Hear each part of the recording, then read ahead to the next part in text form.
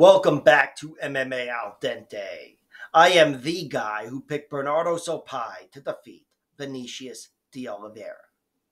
And I'm here to talk about UFC 299's main card, which is stellar, and frankly, so are the televised prelims. There are 14 fights altogether on this card, and I think there's eight of them that could headline a fight night event right now. This card is amazing. Doesn't quite hit UFC 300 levels, which is still a disappointment in its own way because uh, special fights weren't booked, I guess. But that card's a 10 out of 10. This card right here is a 9.5 out of 10, UFC 299. And I'm really pumped for it because don't forget, UFC 199 was better than UFC 200. Although UFC 100 was better than 99. So, whatever. Anyway, I am going to start with the only fight on the card, despite it being stacked, that is worthy of headlining a pay per view, and that is Sean O'Malley defending the bantamweight title against Chito Vera in a rematch. Sean O'Malley has lost once as a professional, and although if you ask him, he hasn't lost. Uh, but Chito Vera is the guy to get it done. Chito Vera got him out of there with elbows on the ground. No doubt about it, the leg kicks were the story of the loss because he gave uh, Sean O'Malley drop foot. I don't even know what the fuck that is. I've heard it thrown around by some people, Henry Cejudo and whatever. Whatever happened with his ankle or his foot and whatever happened in the Sukumtoth fight, it definitely led to the uh, finish eventually and Sean O'Malley was compromised on that leg for a minute or so before he hit the ground. Uh, but once he did hit the ground, what happened was he was knocked half out. It wasn't like, ah, his leg gave out and he couldn't get up or whatever, some Kenny Florian, Dean Thomas type of situation.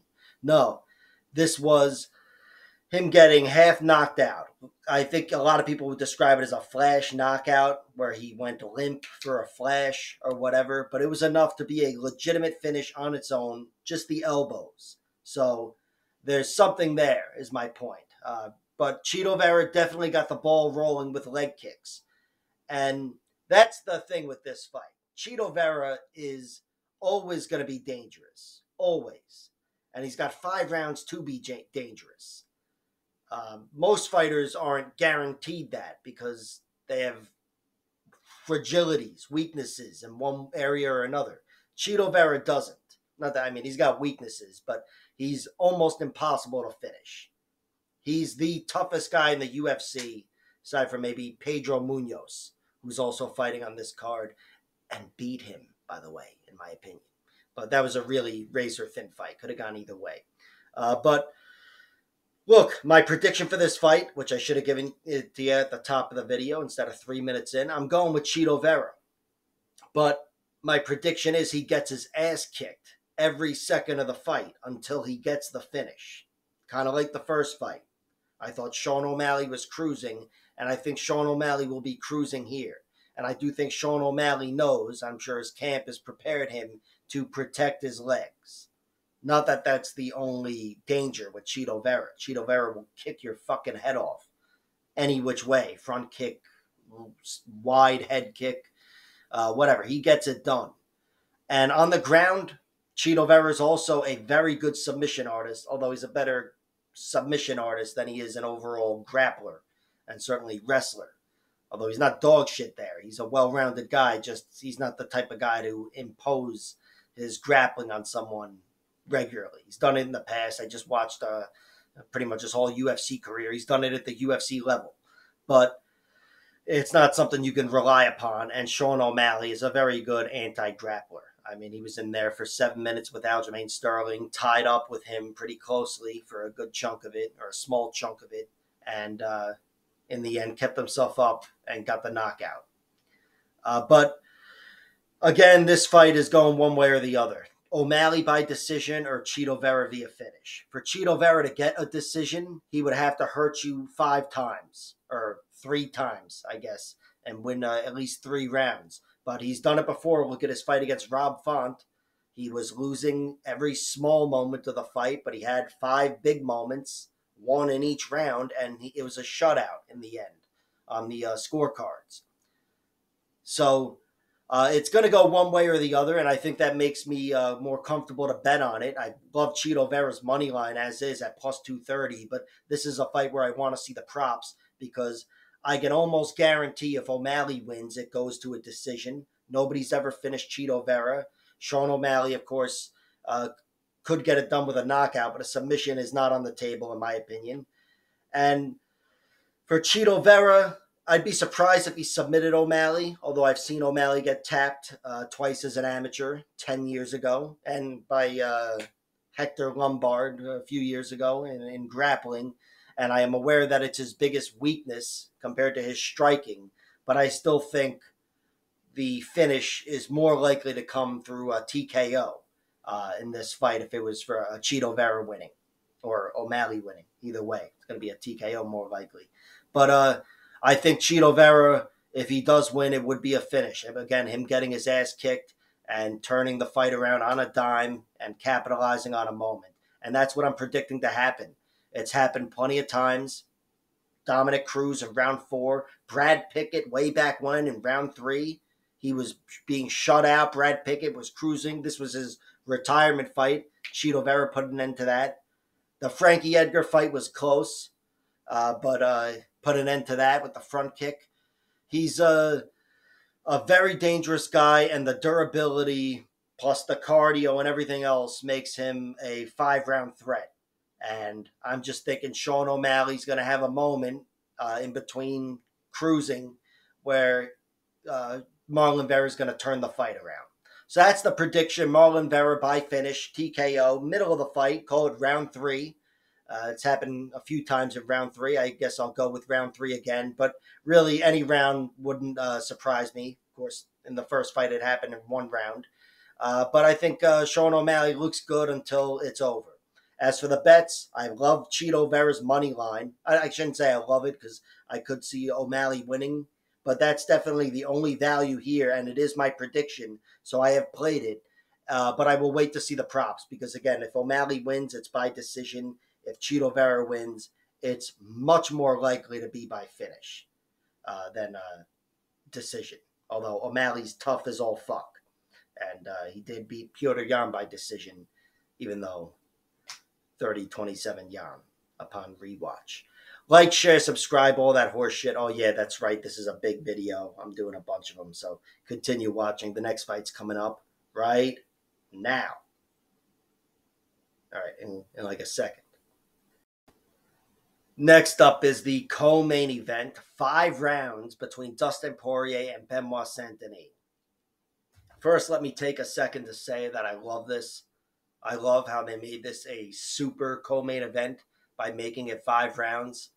I don't think it's something they should do for every pay-per-view, but here and there it does make uh, whatever fight it is very extra special, and that's how I look at this one. And I would have been pumped for this fight even if it was three rounds, just because it's one of the top guys of the old guard, Poirier, Gaethje, Chandler, taking on one of these newcomers who has a bunch of wins already inside the UFC, has everyone's attention and respect. That's what I mean by a newcomer. I don't know what the fuck I'm talking about, but still, this is uh, similar to like Gaethje versus Rafael Fiziev from last year. Very cool matchup for Dustin Poirier. And I say that as a fan who acknowledges that he's only got a few fights left. And he could probably be sitting back looking to fight Conor McGregor or Nate Diaz. And instead, he's stepping up here and giving us an awesome co main event. So I'm rooting for him, to be honest. I'm rooting for Dustin Poirier. Uh, I tend to root for the veterans, but with my veteran bias and everything else, included, I still have to say I'm picking against him here. I'm picking Benoit Saint-Denis. I'm picking him, but at minus 230, I am not betting on him to win this fight. I think uh, this could go wrong for him. And of course, I'm coming off being that dumbass who picked Shamil Gaziev to beat Jairzinho Rozenstruik. And I do think that's how this fight would look if things go wrong for Benoit Saint-Denis. He's already proven he can take a beating in his one loss, uh, which I'll get to in a second. And I do think uh, Dustin Poirier is so used to fighting every which way, all over the place at a very high level where he just won't fatigue and maybe he can find a way to uh, take Benoit Saint-Denis off his game and then keep him at the end of his strikes with an awesome jab, uh, like uh, Jairzinho Rozenstruik did against Shamil Gaziev. But I do think Benoit Saint-Denis should win this fight because he has a lot more upside, and Dustin Poirier is now on the wrong side of 35, and of course, he's coming off his third knockout loss. These losses are spread out a little bit, but it's three knockout losses, three definite concussions. This one was six months ago, or whatever. And again, he's only older, and Benoit Saint Denis is a fucking killer. Benoit Saint Denis is a grappler first and foremost, and I do think he could take advantage of Dustin. He's a bigger guy, and he's got a monstrous top game. I do think if he's on top of Dustin, as good as Dustin is, Dustin's still in trouble.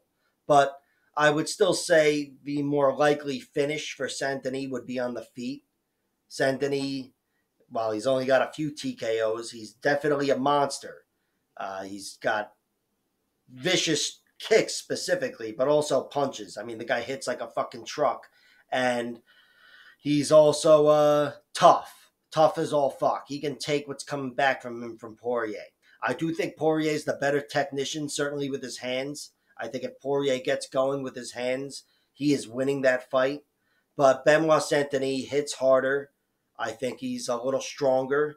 And again, I trust everything about him health wise, whereas there's only doubts and uh, the only bigger doubts as Dustin Poirier gets older and gets finished more. As for as for the submission, Poirier's only been submitted by the best: Khabib, Charles Oliveira, Prime, Korean Zombie.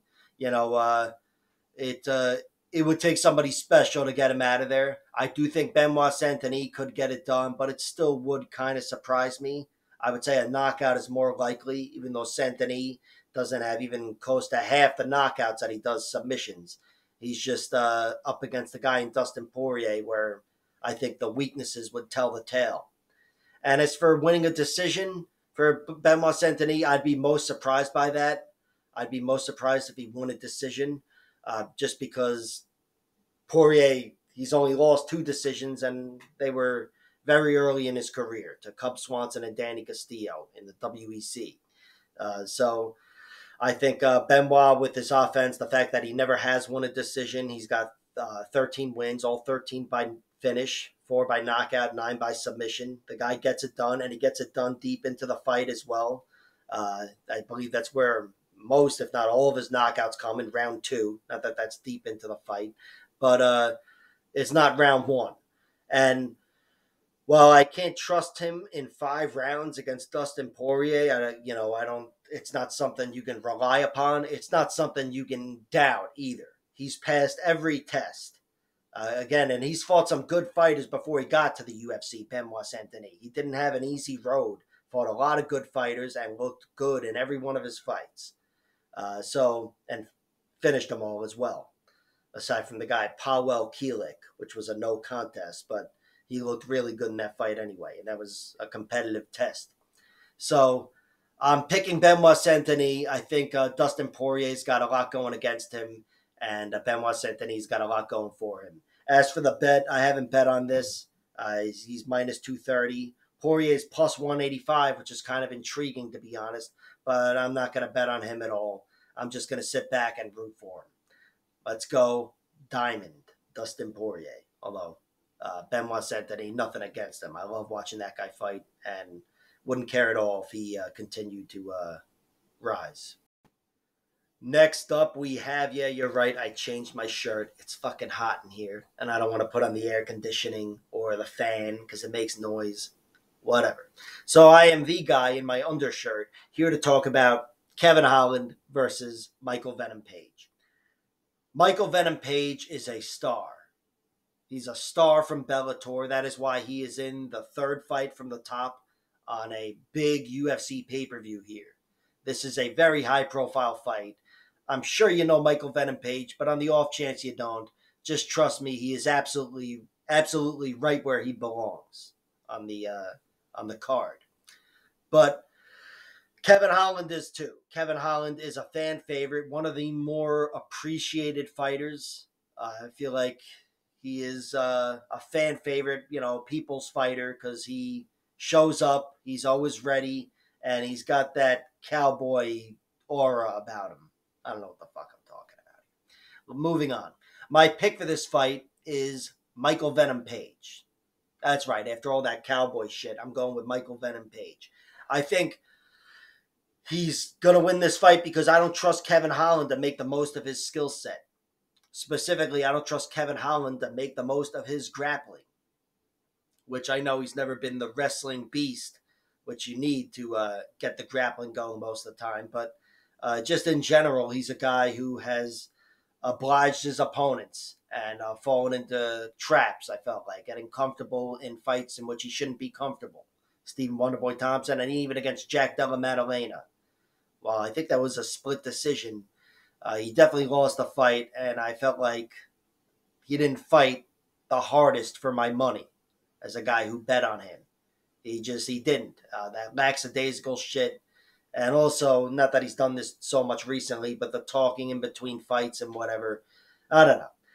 Uh, just a I'm picking Michael Venom Page plainly because despite him being a limited fighter, and not having the wrestling specifically, which is the primary weakness of Kevin Holland, and despite him only having one path to victory, really, one area of victory over Kevin Holland, I think Kevin Holland will fight his fight. And I think Michael Venom Page can duplicate the success of Stephen Wonderboy Thompson. That's right, I was stupid enough to rewatch that fight.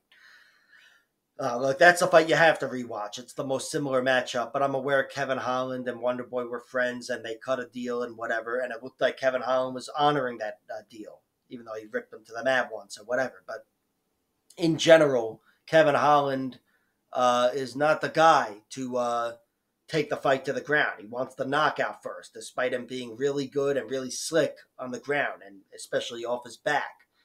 Uh, but here against Michael Venom Page, Michael Venom Page is like Stephen Wonderboy Thompson. I think he wins the point fighting battle and he throws him off with his unique style. But also, Michael Venom Page has concussive power and real danger that Wonderboy does not have, not consistently anyway.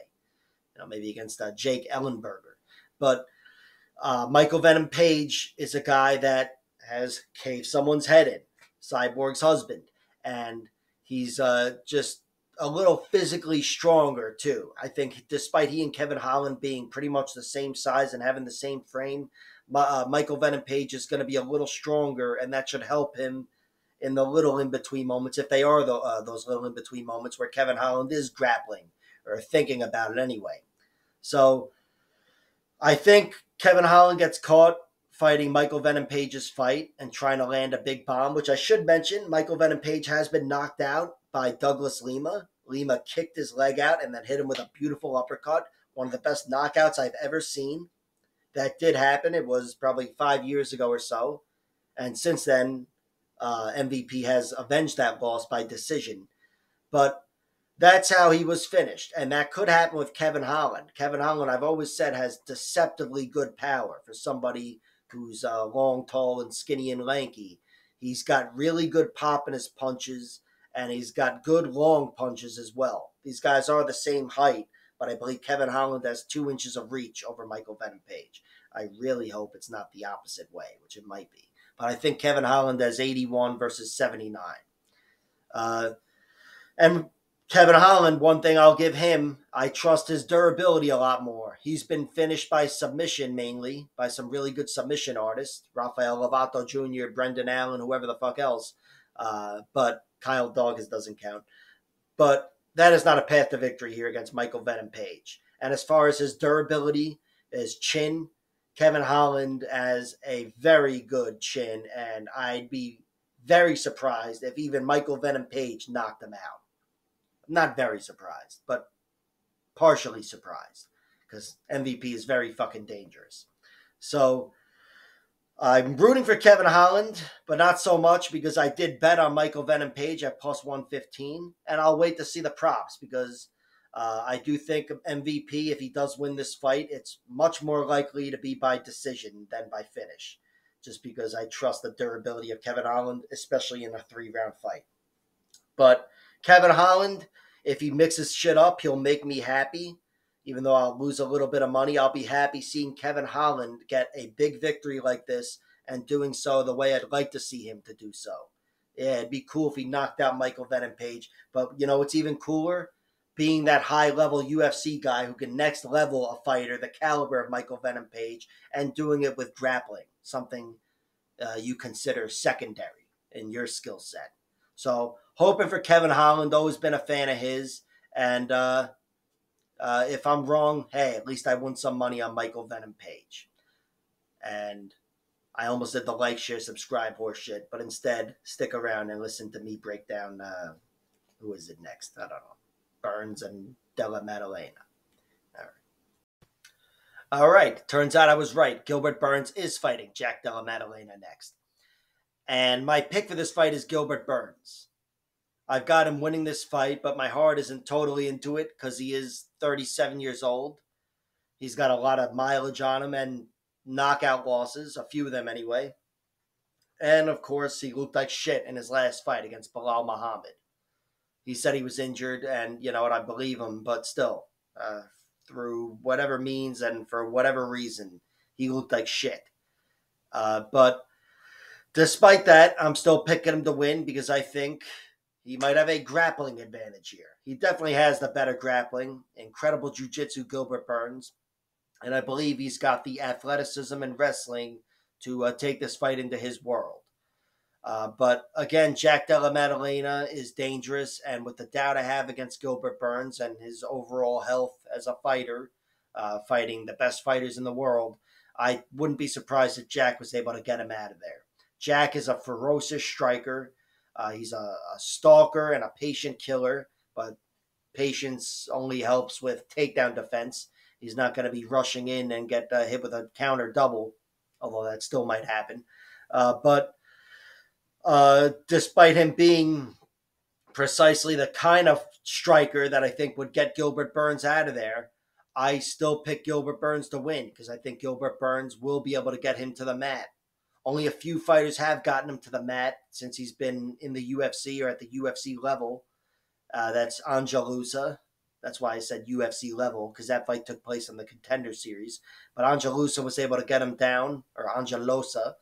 Uh, then Ramazan Emeev got him down very briefly, and he was finished within two minutes in that fight anyway. But he still got him down and put him in a tight choke. And Bassil Hafez that's the guy that really had a lot of success against Jack Della Maddalena, and he did so under shitty circumstances. But he's the guy who came in under shitty circumstances and said, I have to out grapple this guy. I have to get this guy to the ground. And he did so repeatedly and had a lot of success. And in the end, that was a really, really close fight. Uh, but Gilbert Burns, he's, uh, despite having maybe lost a step in whatever, he's still a guy who, in the last few years has out wrestled and out grappled, of course, uh, Jorge Masvidal and Stephen Wonderboy Thompson. And of course, you can make excuses for them and say they fell off a cliff and they're past their primes and whatever. no cough button button here. You just have to fucking sit through that. and I'll get all dramatic with it like I usually do. You have to see me sneeze. I get fucking dramatic. But anyway, I think Gilbert Burns still has the athleticism and the wrestling to complement his jiu-jitsu. And I think Gilbert Burns will, and of course the striking as well. Gilbert Burns is not the striker of Jack Della Maddalena, but he's very comfortable on his feet. And I'd say between the two of them, he's still got the bigger missile, the bigger overhand. And I think uh, that could keep him safe at moments. And of course, what do I know? Could knock out Jack. But I think uh, it's only going to serve to help him get the fight to the ground if he knows what he's doing. And uh, Gilbert Burns, once he's on the ground, he's going to have control. I mean, if, even if he's not able to go cut right through Jack's guard and put him away with the submission, Jack is not going to be able to escape if Gilbert Burns is on top of him. Once he's got you down, just the jujitsu, he he will hold you down every which way. You're not going to be able to move. Uh, not certainly not able to dictate things. So I think he's only got to get him down really twice, but uh, you know uh, he's got to survive the other five minutes. But he's going to have to hit a few takedowns here, and I'm trusting Gilbert Burns to do it. I think Jack's also going to be not his, his full self offensively because he's going to see the athletic threat coming at him and Gilbert Burns and knowing the monster monstrous ground game that he has there. So I'm expecting Jack to be a little more patient, which again will help with his takedown defense, but will hurt his offense on the flip side. And I'm thinking Gilbert Burns does shoot in on those hips. With Gilbert Burns, it's not going to be him striking his way into the clinch and hitting a trip takedown. Although that's totally going to happen now that I said that shit. But uh, Gilbert Burns has a really strong shot, very fast and in tight, despite being the smaller guy and whatever. He's still a fucking physical beast. And I think he's going to be able to win this fight. Uh, he's set plus 136, and I'm not going to lie, I bet on him, but it's not something I'm uh, hanging my parlays on or anything. I uh, I will wait to see props, of course, because nothing's available, not even the over under for this fight. Uh, but I do think Gilbert Burns takes Jack Della Maddalena down and uh, wins a longer fight. If it's totally going his way, a submission deeper into the fight wouldn't surprise me, but a decision is what I'd have in my head. Him doing a little bit better than the job Bassil Hafez did and outpointing Jack. Of course, if I'm wrong, Jack Della Maddalena could be the third guy to knock him out after Kamaru Usman and uh, Dan Hooker. And I think that's it. Uh, but uh, that, uh, other than that, uh, Jack Della Maddalena winning a decision wouldn't surprise me as far as his paths to victory go. Because uh, Gilbert Burns is very tough. Those are the only two guys who got him out of there. And Gilbert Burns, despite being older and slower and whatever, the wheels haven't come off yet. And he's still got a pretty good healthy profile as far as I'm concerned. But again, I'm going with Gilbert Burns. I think Gilbert Burns is able to uh, take this fight to the ground and uh, take away uh, the offense and the danger of Jack Della Maddalena and outpoint him. On to the next one. And the final fight of this video, but the opening fight on the main card of the pay per view, is Song Yadong versus Pyotr Yan. I've gone back and forth on this fight, picking this guy, that guy, this guy, that guy. And I ended up settling on this guy, Pyotr Yan. That's my prediction. He wins a decision, I guess. But my heart is not totally into it, uh, in case you didn't pick up on that. And I haven't bet on this fight. Not yet. I have to consume some alcohol first. But I'm picking him to win because I think he's uh, still he's underrated at this point. I think his skid, which I'll get to in a second, is um, very misleading. I think there's only one distinct loss, and that's his last loss against Merab Dvalishvili. I do think he did not look good in that fight, but I do think that's the only guy who could not make him look good. I think Song Yadong is a big threat to Yan in this fight because A, he's got the hardest punch maybe in the division, and I'd say he's certainly got the power advantage here as far as overhand power goes. And also, this is a three round fight instead of a five round fight, which only uh, exacerbates the power's uh, role in this fight. I think uh, Song Yadong in a three round fight has a much better chance of winning a decision against Petr Yan than he would in a five round fight because Petr Yan is a guy who as pretentious cocksuckers like me like to say, makes reads. He makes reads. And he does make reads. That is a thing, but it's not a thing in this fight. If you're making reads, you threw away 33.3% of the fight. No making reads. Your foot has to be on the gas from the opening bell here. Uh, and I do think uh, that's going to be the case here. I don't think uh, Petr Yan's going to be sitting back making too many raid, uh, reads. I think it's going to be slow pressure, him keeping himself safe on the feet, and hopefully, what I imagine when I say he wins a decision is he mixes in the wrestling.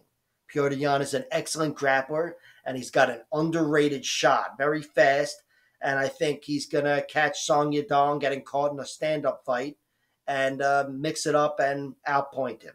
That's my prediction. But Song Yadong is a monster. Song Yadong is a guy who you can't take chances with. And Pyotr Yan is a guy who relies too much on his defense. He will do that thing where he shells up and just waits for the onslaught to be over with. You can't do that with Song because Song, he cracks you through the guard, he can probably put you away. And if you leave your body open, shelling up, I'm sure Song Yadong is planning on this. If Yan does that thing where he shells up and Song is ripping the body, this is going to be Song's fight. So Piotr Yan can't let himself get hit like he has in the past. And he's got to be in and out or throwing back because uh, Piotr Yan is a very good striker himself. I do think he's given up a power advantage, but I still think his overall striking is beastly. And I think that's going to shine as well in this fight.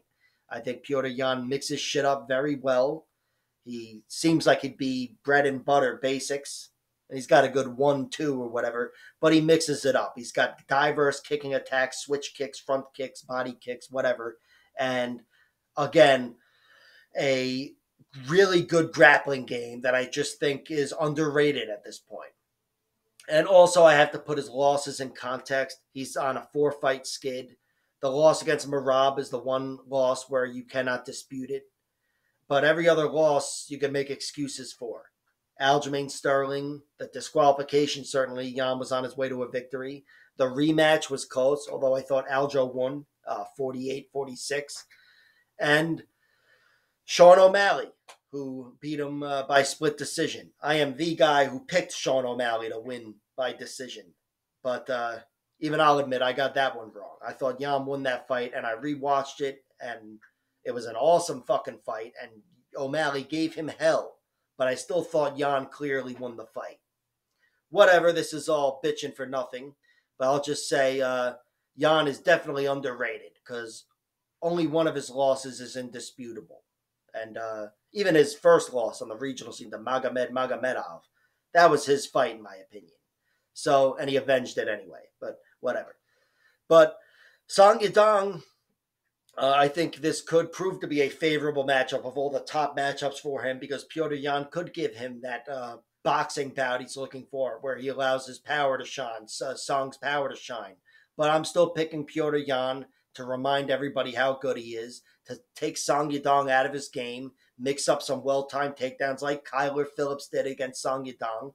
And also on the feet, uh, Piotr Yan, while he's not going to have five rounds to get going and take over a fight, he's, uh, I think he's technically superior to Song. And I think if he doesn't, if the power isn't the story of the fight, Yan is winning the stand up battle as well. So Piotr Yan by decision is the pick, and the bet is non existent because I'm not fucking stupid. Good luck with yours. Like, share, subscribe, all that horse shit, and check out my other videos where I'm going to cover. I'm doing one for the uh, ESPN prelims and then the early preview.